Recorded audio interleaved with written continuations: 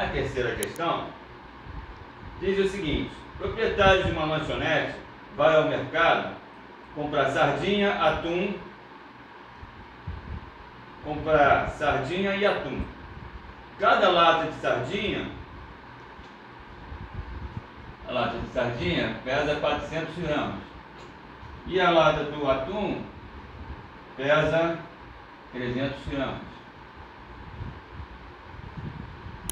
Como sua bolsa de compras suporta até 6,5 kg, ele decidiu comprar exatamente 6 kg dessas latas.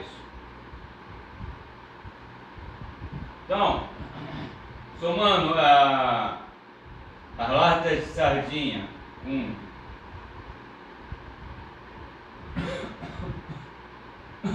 com a de atum, tem que dar 6 quilos.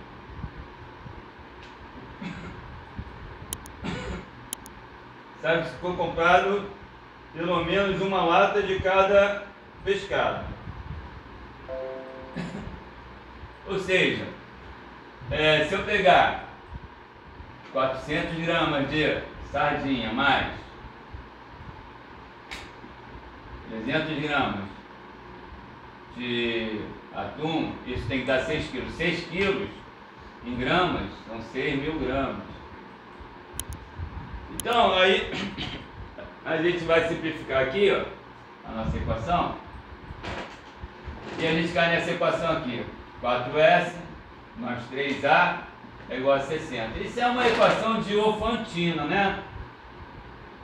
Mas eu não vou resolver por equação de Ofantina não, tá? Eu vou fazer o seguinte. Eu vou isolar aqui, ó, o S. 4S é igual a 60 menos 3A. Então S vai ser igual a 60 menos 3A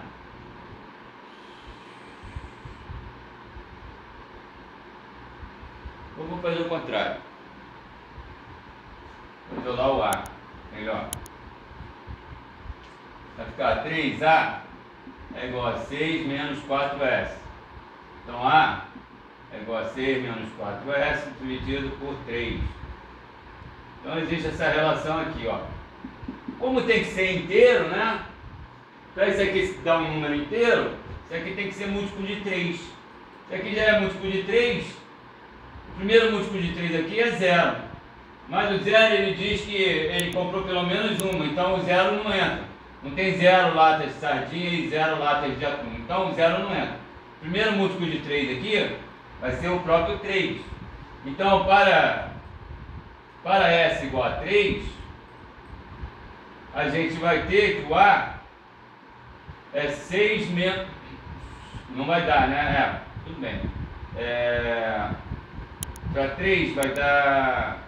Aqui é 60. 60 menos. É, tá.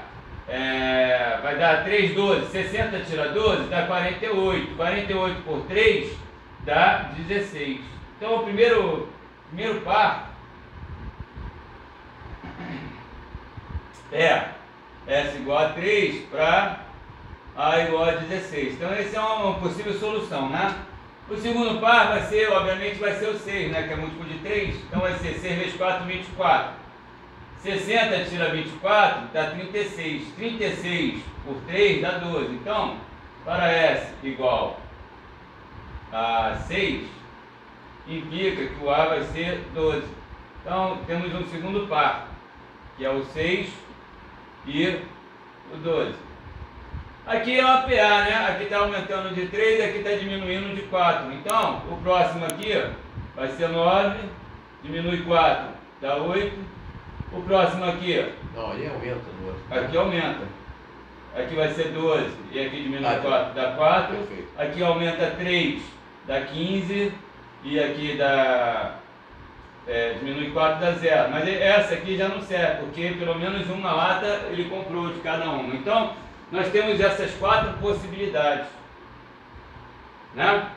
Aqui para cima, se diminuir 3, vai dar 0 e soma 4, é, dá 20. Essa aqui também não serve porque ele comprou pelo menos uma lata.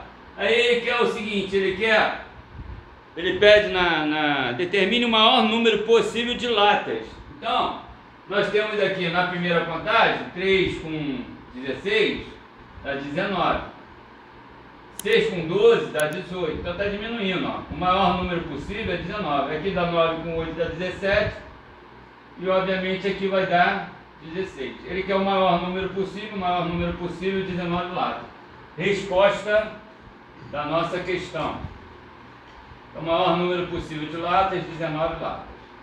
Agora, teria sair por equação de Diofantina, né, mestre? Não sei o que, que você faria, mestre. Eu faria basicamente o que você fez, só com uma observação. Qual?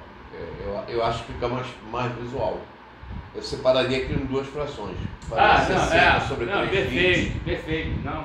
É, Menos- 60 por 3 dá 20, 20 menos 4 4 terços. terços de S. Para ser inteiro, Entendeu? tem que ser múltiplo de 3. Show? Show.